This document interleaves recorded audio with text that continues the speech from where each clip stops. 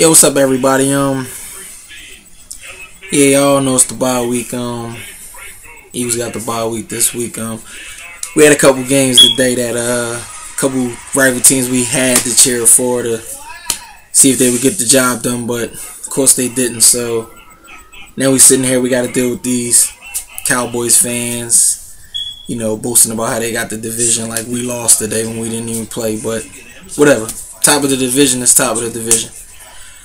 Anyway, um, reason I'm posting this video is because uh,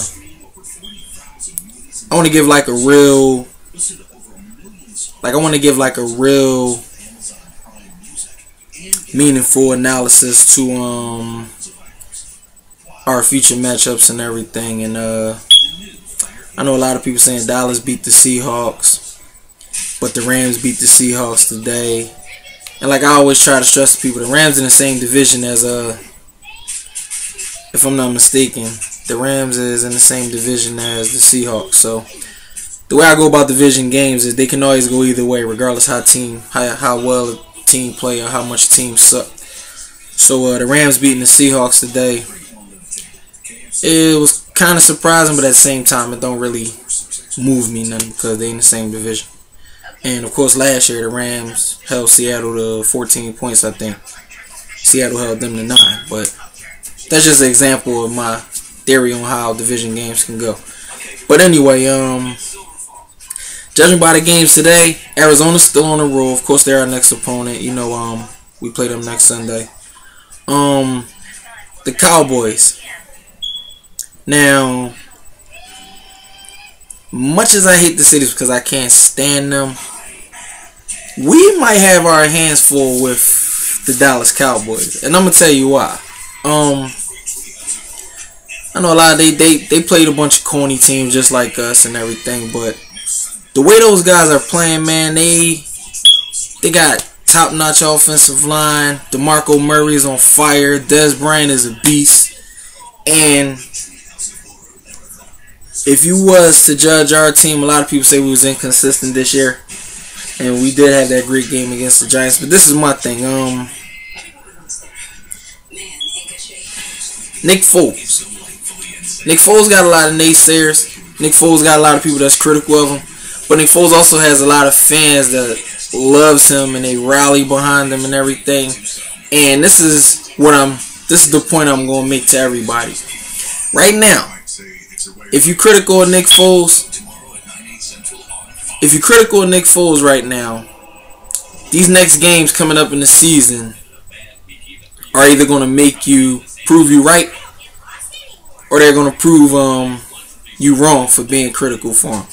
If you're a big fan of Nick Foles, like a, a, a, real big big fan of Nick Foles, like these next few games are gonna prove you right, or they're I'm not gonna say they're gonna prove you wrong, but this is his chance now to make everything and every way you feel about him look pretty pretty much sensible and basically make you look right completely right.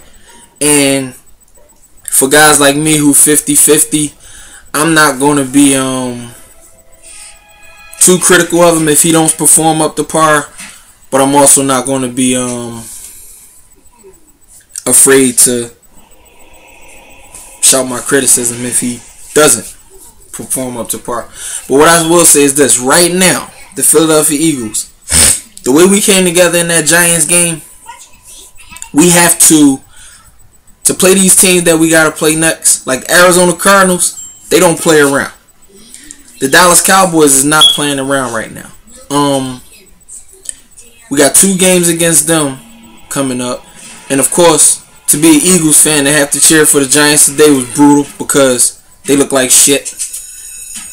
I mean, they did. They were in the game for a little bit, but I mean, I, I thought that after a shutout, they would come back with a vengeance and they would want to completely flat out dominate the Cowboys. But I didn't really count on that. Like I wasn't all full fledged go Giants because this we we was the same way with the Seahawks last week and they disappointed us. But the way I look at it, it's our job to handle the Cowboys because as the Philadelphia Eagles and as Philadelphia Eagles fans, we can't rely on other teams to do our to do the job that we supposed to do. So when Thanksgiving roll around, we'll see. But as of right now, I will say this: our squad, all the inconsistencies, the the faults, the clock management, everything. Right now, at this point in the season, this is when we got to get all our shit together. And it's as simple as that. Like, I mean, everybody got to be on point, but this all leads like to our leader, our guy, Nick Foles. And like I said, he's going to have every opportunity for the rest of the season now with the hardest part of our schedule coming up to go out and do what the hell he has to do. And as far as you know, the foolish interceptions and the overthrows and everything, okay, all of that's going to happen. I'm not worried about that.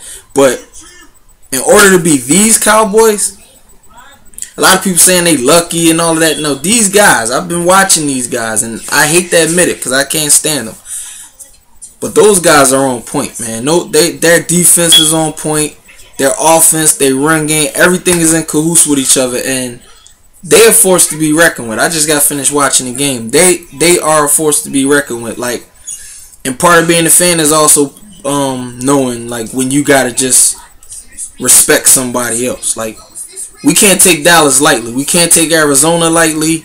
We can't take um pretty much no team lightly. Right now, the Eagles, we have to get our shit together and come together as a unit to play these next couple games. And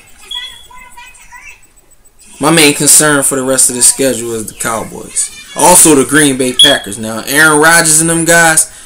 Last year, Nick Foles didn't go up against Aaron Rodgers, and like I try to stress to people so much, sometimes it's not about quarterback versus defense. I mean, that's the general theoretical, you know, thing in in um, football. Quarterback got to go against defense, but sometimes it's not about how you play against the defense.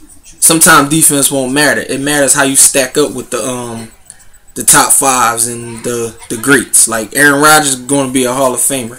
Nick Foles is still early in his career, but sometimes it's also about you might have to play a shootout game, and it's about how you stack up against the, you know, the the Hall of Famers and the top five guys. And Aaron Rodgers, he's one of the top five guys. So I think the Green Bay game is a big game. Um, Dallas. That's that's that's if I was to say the team that I'm worried about the most, it would have to be the Dallas Cowboys.